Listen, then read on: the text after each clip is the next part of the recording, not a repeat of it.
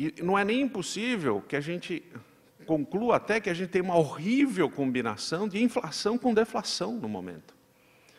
É uma, é, é uma, eu não vou usar a dialética para não evitar comparações aí problemáticas, né?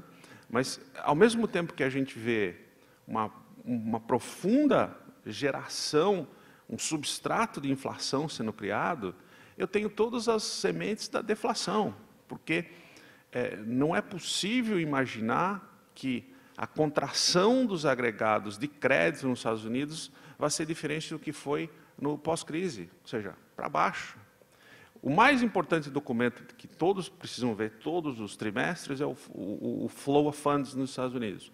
É total, é maravilhosamente bem calculado, tudo mais, né, bem feito, é idôneo, eu presumo, é, que mostra todos os agregados de crédito, setor público, empresas não financeiras, bancos e famílias. Quer dizer, ou esse agregado geral ele caiu, ou ficou ligeiramente estável desde a crise. Ou seja, há um processo de desalavancagem de crédito que não acabou. Se o, o, o Rogoff, lá no, no, livro dele, do 800 anos de crise de, de, história financeira, tiver razoavelmente certo, aliás, é uma obra magistral, ainda que não austríaca, documentando esse, esse, esse processo, a gente não deve imaginar que esse, essa, essa, essa dinâmica de desalavancagem vai acabar no próximo trimestre ou nos próximos trimestres. Talvez a gente tenha a sorte que ela acabe nos próximos 10 anos. A unidade de conta no Japão não é trimestre. A unidade de conta no Japão já não é nem mais década. São décadas que o Japão passa por uma explosão dos agregados é, mais curtos, né, mais estreitos, e uma contínua queda nos agregados de crédito. Então, a gente, até por mudanças uh, institucionais na economia, né, a forma como a gente entende crédito, né, imaginar que hoje a gente deve ter algo como uh, mil por cento do PIB em ativos financeiros rodando no mundo. Né? É, é, o, o, Roach, não o Stephen Roach, mas o David Roach, uh, ele tem uma consultoria independente na Ásia, ele chegou a calcular muito, até brilhantemente, essa razão, quer dizer, o total de ativos financeiros existentes aí nesse, na nuvem, fora da nuvem, dentro do banco e dentro do cofre, dentro do colchão, como sendo mil por cento do PIB do mundo. Se a gente imagina que o PIB do mundo é 65 trilhões, a gente está falando de 650 trilhões que rodeiam por aí. Esses são números tão é, é, é malucos comparado às bases monetárias, os M1, os M2, M3 que, no fundo, é, é, é, essa, essa, essa distinção, a ideia do fósforo, ela para mim é importante, só que eu não, sinceramente, eu não me preocupo muito. Eu não vejo, eu não vejo esse fósforo sendo acendido nesse momento. Por um, uma, uma, outra importante é, dinâmica, que para mim quem mais e melhor capturou isso foi o Rothbard, né, mais uma vez. Né?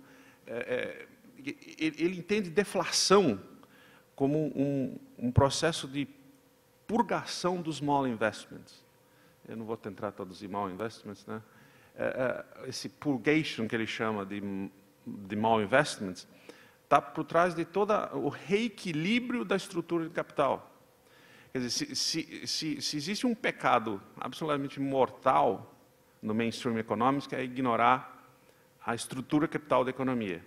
E se tem uma coisa letal hoje em dia, é como taxa de juros zero nos Estados Unidos, essencialmente na Europa e no Japão, ela sim, simplesmente afasta o reequilíbrio, ela posterga o reequilíbrio da estrutura capital da economia.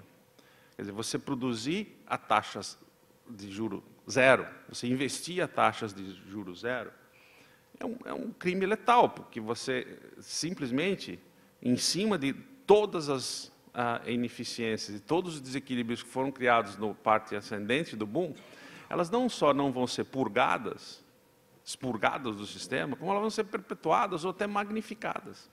Ou seja, hoje eu não estou vendo o ajuste.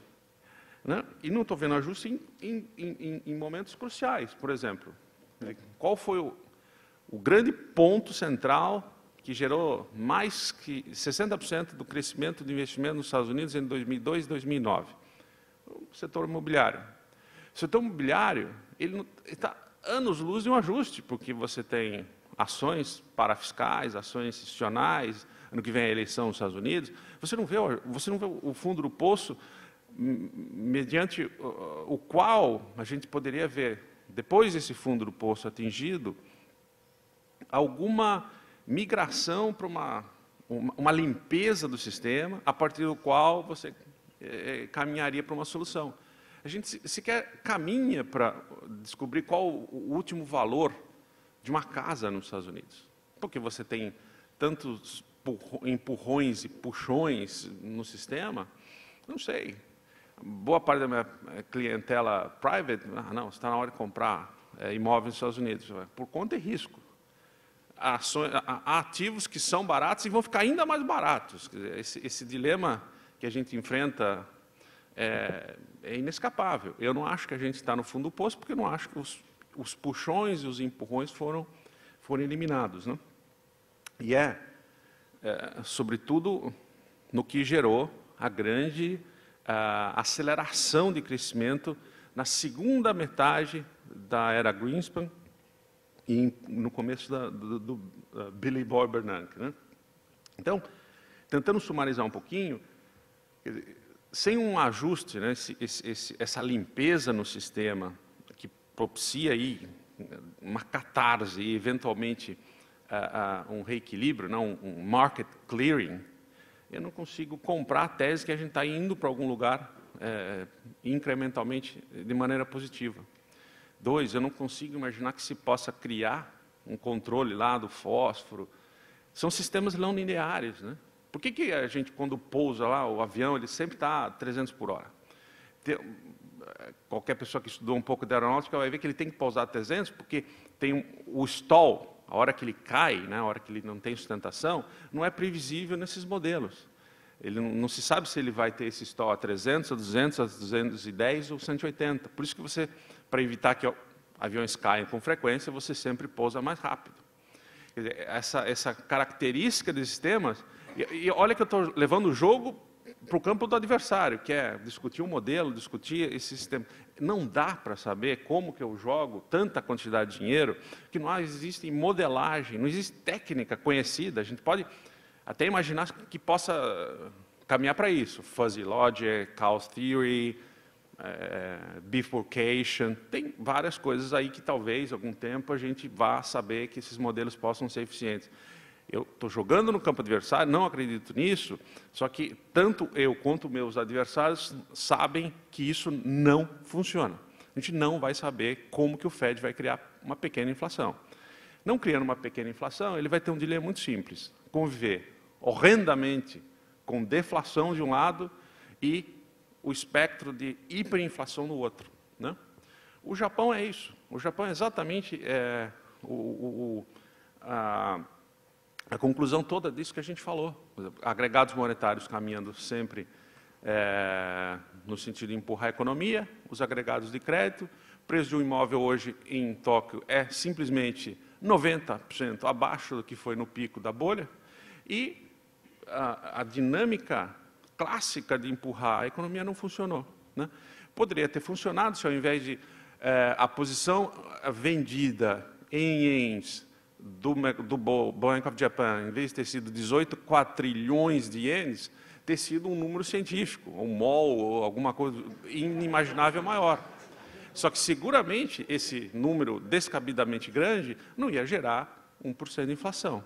Então, a única coisa que a gente pode imaginar é, é, é simplesmente ah, aquela mais prosaica possível. Se você não sabe fazer alguma coisa, não faça. Né? Dois, eu acho que existe claramente nos outros membros do FED a ideia, ou essa ideia, ou a ideia que quando você está dando ré no carro, você vai devagarzinho porque você não está tá vendo muito bem. Não está vendo muito bem, você vai desacelerar no próximo quantitative easing a velocidade de expansão do FED. Na verdade, como o Mises nos ensinou, você tem que acelerar um credit boom. Não adianta desacelerar. Então, acho que a gente tem muito pouco tempo para que uh, uh, essa dinâmica ela mude crucialmente. Eu não vejo, pelo menos nos próximos dois anos, essa ignição da inflação, porque eu não vejo a, a, a aposta clear-cut que vai é que, que, que, uma sociedade aberta como a americana, com legitimidade dos resultados, etc., possa optar por uma, uma aventura. A gente já está numa grande aventura. O maior experiente monetário da história está sendo feito. Dizer, duplicar ou triplicar a aposta nisso eu acho muito difícil. Na ausência dessa, dessa uh, opção ou dessas opções, eu acho que a deflação é o cenário mais provável uh, de todos nesse instante.